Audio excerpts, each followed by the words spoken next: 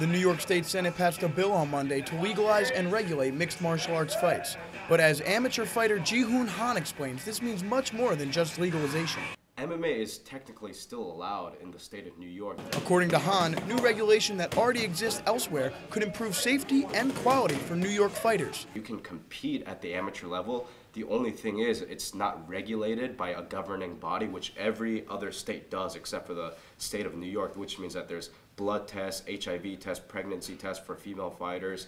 Uh, without that, it's, it's dangerous. You don't know if you're going against a fighter that's, you know, potentially has a disease. Uh, that's you know harmful. So uh, it's it's actually imperative and important that this bill gets passed for safe for the safety of the fighters that are competing. The bill could also be beneficial to local businesses such as Impact DeWitt. Impact owner Jason Nolan believes that with legalization, more people in New York could be drawn to the sport. You know, anything that raises the visibility of the martial arts is probably a good thing.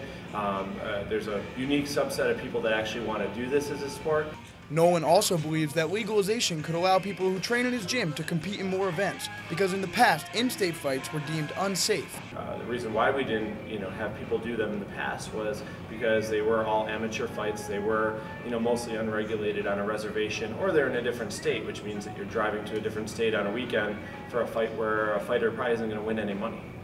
The bill passed by the Senate on Monday was the seventh time such a bill has made its way through, and not once has it ever been voted on by the Assembly. Supporters think this time may be different, though, as Governor Andrew Cuomo has carved out space in the state budget for it.